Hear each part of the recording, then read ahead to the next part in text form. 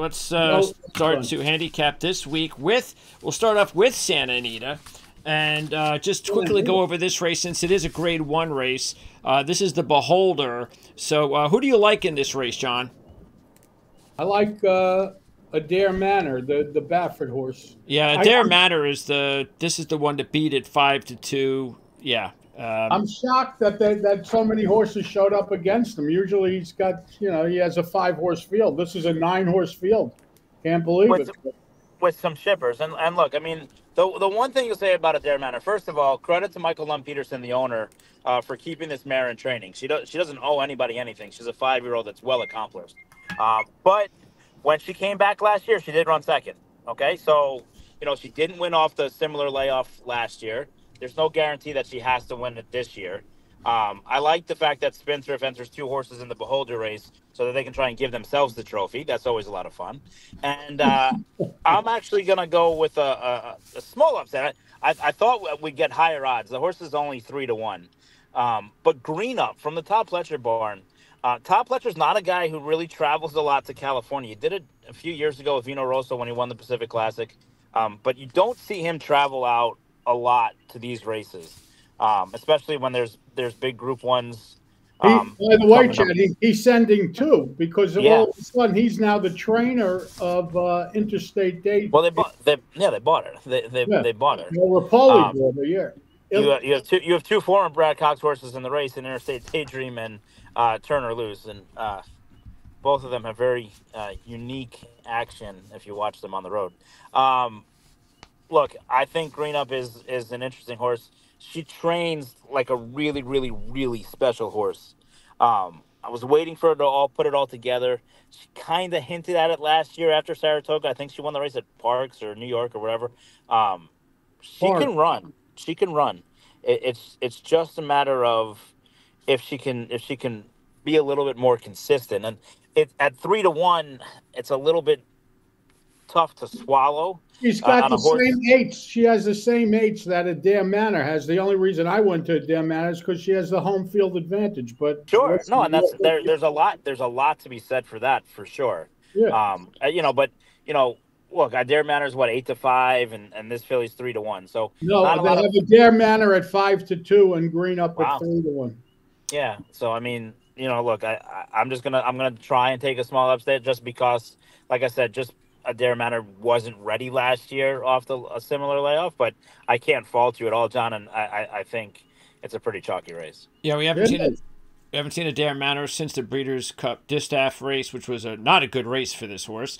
Um, by the way, Green Up ran that six in that Parx win, bounced to the 13, and it came back much stronger this year uh, at the end of the year with a with a nine. Actually, the next year, I should say, with a nine and an eight. So those are the two best uh, uh, races, actually, sheet-wise, that Green Up has had in consecutive races. Um, a couple of uh, long shots that I, uh, that I'm going to play. I don't know if you guys are going to play any long shots in exactas, but I'm going to play the four, the seven, and the nine. The seven is Kirstenbosch. I was I was actually putting the two, a damn Manor, over the three, four, and seven. That's Green Up, Desert Dawn and Kirstenbosch. All right, so there you go. We have the four and the seven. Desert Dawn. Desert Dawn Des- listen, Desert Dawn will go down. Uh, I'm not afraid to talk out of school here as the greatest Arizona bred of all time. Okay. Oh, okay. Go out on the win there, Chad. uh, Desert Dawn was runner-up in, uh, in two Grade One stakes races. That was the uh, Clement L. Hirsch, and um, actually finished second twice to Adare uh, Manor. So um, and then the seven, Jon, you, as you mentioned, Kirstenbosch, uh, the long shot at 15 to 1, did run two eights last year and also was, was, pretty competitive. They were, sprinting. they were sprinting. I mean, the distance is the question mark about Kirstenbosch. That's the problem. Could, could she clear, though? No, how's she going to clear? There's plenty of speed. Your horse, Green Up, shows speed. A damn man could go. Yeah. I don't. Yeah. I, I, I, don't. I don't think uh, Kirstenbosch is clearing. Yeah. And then uh, the nine uh, window shopping did run his best race at Santa Anita at one mile last year. And boy, Mandella is having a hell of a meet at Santa Anita. So I figured why not. Uh, Chad, are you just going with the three? You got any exactas? No, I, I, mean, like I said, it's a it's a it's a tough race to really to, to go too heavy. I, I, I think Adare Manor and Green Up both figure. Okay. Um, but they both run races that can get them beat. But I mean, these other fillies, I just don't. I, I don't think she, they're like there's no rising star in there in this group. There's not there. It's for me. It's just no. There has they. What you see is what you get. Yeah, yeah. I mean, it's just it's the race is fine. I mean, it's just uh doesn't have a lot of pizzazz that's, to me. And that's the Grade One Beholder Mile, and that should go off about 11 after 7 Eastern Time on Saturday. That's race number 8. All right, now let's go to Tampa. We got back to back races 10 and 11 before we get to the uh, top race, the three year old race from Tampa Bay, the Tampa Bay Derby. We're going to talk about the race just before that, race 10, mile and a 16th on turf. The Florida Oaks. It's a grade 3 for filly three year olds. So we got a three year old filly race to talk about. Uh, and taking a look at uh, the top uh, contenders here as far as the morning line. Uh, the four to, we have a seven to two shot dynamic pricing. That's the eleven, and we have a four to one shot Auster Auster, uh, a four to one shot. That's the six, uh, followed by the seven to five to one shot style points. Those appear to be at, at least the morning line says those are the top three contenders. Let's start with dynamic pricing. The 11 horse. That's the Chad Brown Jose Ortiz combo. Jon coming off a 12 last time out at Gulfstream. She's fine, except for two things. She's drawn outside. She's got the 11 post, and uh, she is making her first start attempt on the turf. She's obviously run on the turf in her first two starts, one at Aqueduct, one at Gulfstream. She did nothing wrong. She ran a 12 last time out. She's fine, but she's outposted, and she's going to be the favorite or close to it. There are horses drawn inside that are much bigger prices that have the same shot or a better shot. So Chad? I'm yeah, using but, her, I'm using her because I'm keying a long priced horse, but I would never key off of her. Look, I, I Chad Chad loves this race. Um, he's he's sent good horses here in the past. It's the perfect prep into into the the stake at, at Keeneland, and then obviously um, the stake on on Derby week as well. So um, he's very familiar with with running horses in this race. Um, and then Chad, we trust. I mean, obviously he's got the the Derby the Derby favorite right now in Sierra Leone. Otherwise, it's been a relatively quiet um, year so far for Chad Brown. But this could be his uh, his coming out party all, all day at Tampa. He's he's littered with good choice with good chances and many many races on the card. Ost Osterrier, I don't know how do you pronounce that horse's name. A four to one shot. This is Brendan Walsh trained horse with Gaffalione on board. First race of the year.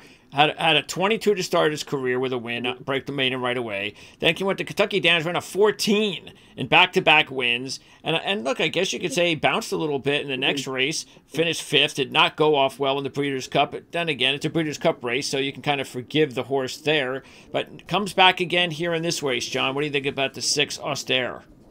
Well, if you have sheets, you have them for a reason, and that's a bet against Austere because there are clearly five or six horses faster that'll be longer prices. Look, there's a horse, and, we, we've come into this trap a few times so far doing the shows here. And look, credit to Brendan Walsh for for for getting these two year olds ready to run, um, and then kind of laying them up from two to three, which which a lot of trainers like to do. Um, but they have not been 100% ready to fire off the bench. Um, we've seen this time in and time out all season long. Uh, they run well, uh, but probably not well enough to win. So, uh, you know, a horse you can use on, you know, others probably a little bit better. And then the uh, other one before we get into uh, the rest of the field that I mentioned was style points. The five to one shot, that's the seven horse. Castellano on board, Clement training, back to back 15th coming in here.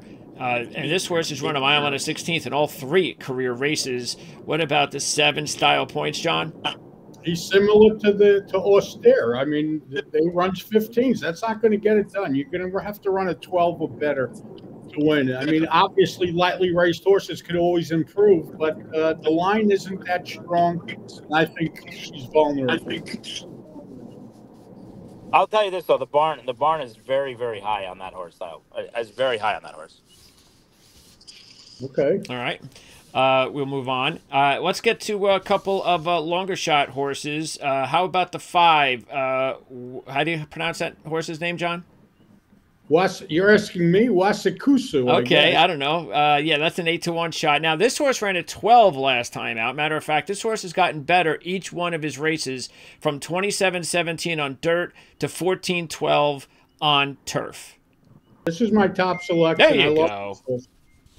I, lo- I mean, I love the price. I love uh, Mott's having another terrific year. Alvarado's, you know, well, what's wrong with this horse? She's done nothing wrong. She's eight to one. She's got a strong line. She's got time since her last race. You know, I think the mile and the 16th is only good news for her. I love this horse. So that's Yeah. my top selection. And, and she went off as the favorite the last two races. So, yeah. Chad? You're not going to get any argument from me. I mean, I think Jon uh, Jon's onto something there. All right, so we're so uh, we're all in agreement with the five. All right, how about let's see about another horse in there, same odds. Uh, how about the eight Destiny Star? Um, not the distance is definitely the question. Destiny Star ran a 15 last time out, back to back wins. Of course, they bring this horse up because the first, the last two races were both wins at Tampa. That's an edge. Believe me, it's important having a race over that course, you know, but, you know, she looks a little slower. I mean, you could take a horse like the one, poolside slim at 15 to 1. Uh, that horse is breaking from the rail. She certainly has the number last time out that's, you know, she's switching to turf today. I get it. She was on synthetic her first two races, but I think she has a shot. George Arnold isn't going to ship in here if he doesn't think he has a legitimate shot. And the horse has a is a price. Even the three Pharaoh's Wine. What's wrong with that horse at eight to one? Both All of those horses there One at a time. One at a time. I'm just saying. Uh, so out of those three horses, Chad, Destiny Star, Poolside with Slim is the one, and Pharaoh's Wine the three. What do you think about those three horses? Well, based solely on the fact that Russ Arnold came out today and wrote an open letter uh, To Heisa, HISA, to how much he hates HISA, uh, I'm going to go with Rusty Arnold. Uh, he's suspended for seven days coming up. He got a thousand dollar fine. Let's pay the thousand dollar fine by winning this race. So uh, for for no reason alone, there's absolutely no no uh, tangible reason why I think this horse is better than the Chad Brown horse. Um, I'll I'll use them just to root for Rusty Arnold because uh, everything he said in the article was one thousand percent correct, and HISA continues to do ridiculous things. How about he's been in the business for like 40 years and has one $300 fine for being, le- for, I don't know, he didn't scratch a horse or didn't report his scratch. That's his only fine in 35 years as a trainer. And they want to suspend him. Wow. I mean, I can't say anything about fines because I, I have a little bit of a temper, so I've gotten fined a lot more than once. I can tell you that much. What is he like? Is George Arnold like the Tom Landry of? Uh, He's an old time trainer that, that operates on hay and oats. okay. You know? he does love he does love his Kentucky Wildcats though. By the way, Pharaoh's Wine, as Jon uh, was uh, alluding to, if you take a look, he has uh, been better each time out on turf from 27, 19, 16 in 2023 to 13 in his first and only start this year. Even though he ran sixth in that race, that grade three race, the sheets are telling a much better story. Um, all right, so before we move on, uh, are there any other horses in this race, Jon, uh, that you're looking at? And then who do you like? I'm looking at no other horses, and here are my selections. I like the five Wasukayoso, whatever his name, uh, her name is. Uh, inexact is with the one poolside poolside with Slim, the three Pharaoh's Wine, and the eleven Dynamic Pricing. Five with one three eleven, and you can reverse them small. All right. And Chad, uh, what about you? Any other horses in this race that you're interested in? No, I think I think Jon hit them all on the head. I agree with Jon on the four horses. I'm just going to put Chad Brown on top. That's all. So Chad's going eleven with one three five, Oh, okay. and Greg. Wait, he's doing. Oh, he's that's what he's doing with one three five. He said he's putting the, Yes. the Oh, same. those are all the horses. Chad He's Brown Putting the horses. Eleven on top. No, he, Chad Brown is the eleven. Oh, okay. Putting the eleven on top of the one three five and Okay. reversing them, I guess, somewhere. And I'm All right. going five with one three eleven, and now we're waiting for you. I'm going five over three eight eleven. Ooh, All right. all right. KOD. Let's go. Let's go to the three-year-old race of the week, Tampa Bay Derby. This will go off about 5:18 on Saturday, mile and 16th. And we will start with the one Heartened, a 10 to 1 shot. You got Pletcher, you have a Jose Ortiz. This horse is one for one at Tampa, winning last time out, basically going wire to wire, running a 15. And the horse has improved pretty much in all four of his races. 20, by the way, was the first race on dirt, 15 was the race that he won just recently uh, at Tampa.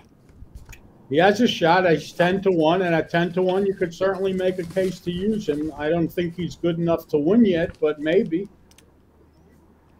I mean, look, he was two to five in the main. He's coming off of Lasix also. Just pointing. He was two to five. He was two to five in the maiden race last time. I like the fact that Jose Ortiz went to Tampa to ride him last time, obviously with this race in mind.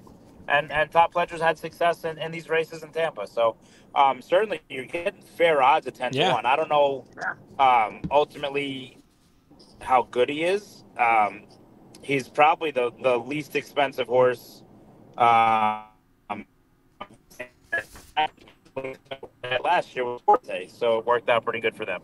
Um, I'm I'm gonna I'm gonna play against this horse, but certainly I, I don't argue with people that want to take a shot on a Todd Pletcher ten to one shot in a three year old Derby prep race.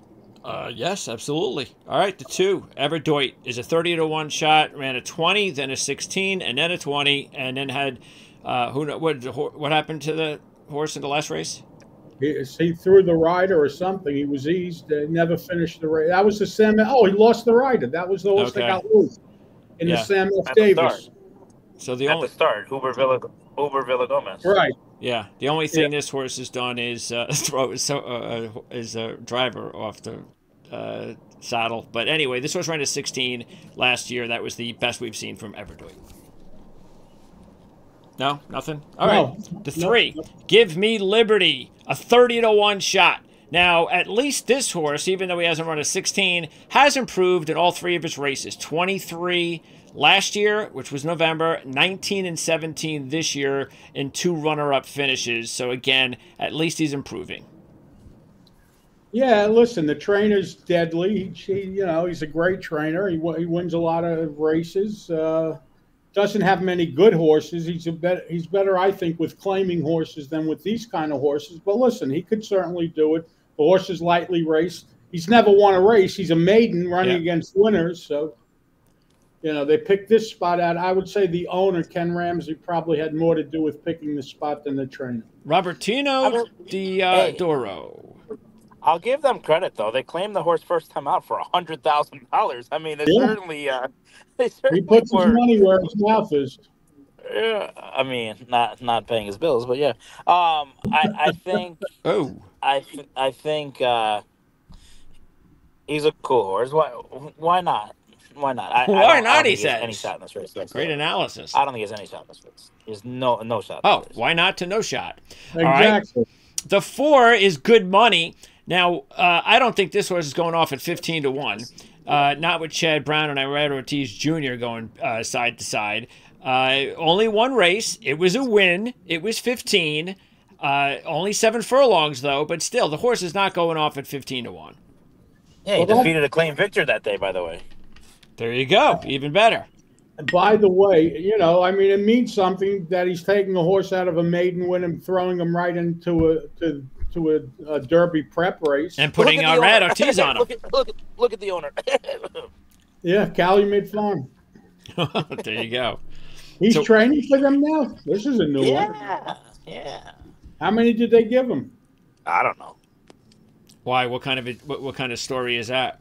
Calumet Farm has been in the business hundred years. You oh yeah, I mean I know that. It's like not knowing the Yankees. All those horses. But, different owner though. This is Brad Kelly. A different. It's a different owner. It's a different. Yeah, it's not the. Yeah, oh, they have different owners there. No, no. Well, the owner of Calumet Farm now is a very reclusive um, guy um, who's actually the largest landowner in America, in uh, Brad Kelly, and and he's a he's a sportsman. He never goes. He he he doesn't like crowds. He doesn't like people. He really keeps himself. He doesn't really do interviews. Um, but he he loves he loves the game and he loves to take shots, and um, you know he he he had that horse Bourbonic that paid a big price oh, in the Wood Bourbonic. Memorial years ago that yes. qualified for the Derby, and you know they're going to take a shot. Look, the horse ran well. I didn't think he was the best horse that day. I thought the Claim Victor was better. He's not a very big horse.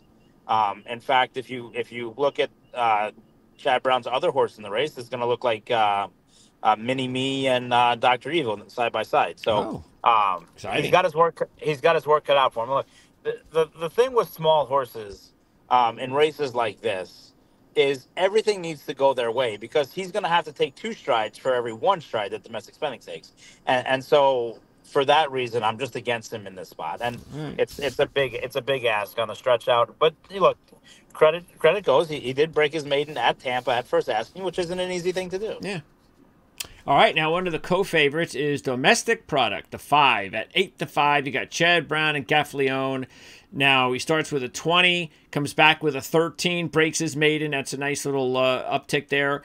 Bounces to a twenty-two, comes back with a twelve, and running second at the Holy Bull. Jon. Well, the 22 we ran was on a muddy track, so maybe you want to excuse. Oh, that's the door knock race. That was the day that nobody made up any ground. I, I don't care about that 22. It doesn't mean much. He's fine. He's fine. But the other favorite in the race that we're going to come to that we loved the last time in one at Tampa, no more time, is the horse we're talking about. And he's done nothing wrong. So, and he has the number as a two year old. So to me, that's why I ended up on no more time. The the thing with domestic product, uh, and I think this is very very important to note to to our our viewers out there. Okay. Eventually, and you see this a lot with with Steve Asmussen and Todd Pletcher and Brad Cox. You haven't seen as much from Chad Brown because he hasn't had as many three year olds on the Derby Trail. What happens is you try and get cute and you separate your horses, and you're trying to run them in different places um, and avoid each other. And you, you know, you don't want to have too many horses in the same race normally, other than Brad Cox's four in the Gotham. But to to me, um, I don't like this spot for this horse. I think he can win the race, but he's he he's a closer in a race that there's not really a ton of early speed in. Um, he he ran on well to run second last time out in the Holy Bull, but Hades was able to kind of walk the dog in front, and he came running late, and it looked better than it was because Fierceness was stopping so badly. I, look, I don't love this racetrack for this horse. He's he's probably the most talented horse in the race, and he should win the race.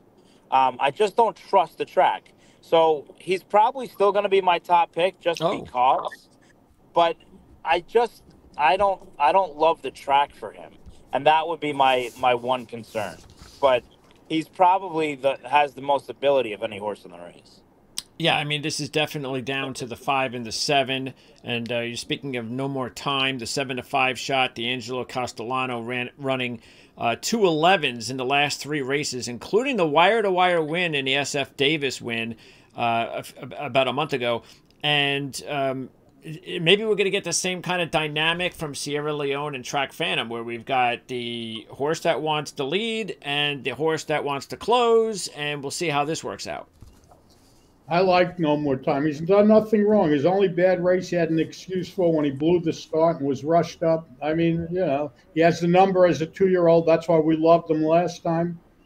And he came through. So I'm a loyal kind of guy and I'm sticking with no more time. And by the way, No More Time has uh, pretty much uh, been a favorite uh, in, in three of his four races. Domestic product has, has not. Domestic product, uh, 14 to 1 and 8 to 1 in his last two races. Well, they were running against different kind of horse. He was in the Holy Bull and Remsen the last two races, domestic uh, uh, product.